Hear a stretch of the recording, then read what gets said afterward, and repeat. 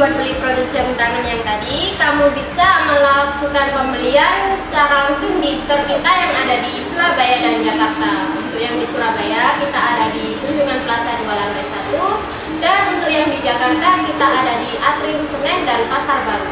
Kamu juga bisa melakukan pembelian di website kita yang ada di www.grocerjamtangan.com dan ada juga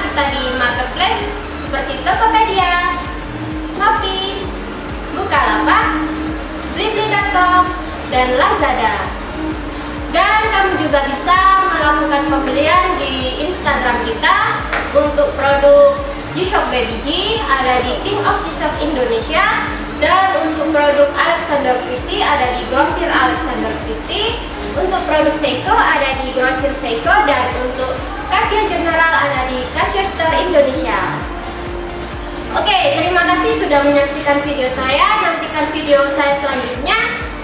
Jangan lupa tinggalkan komen,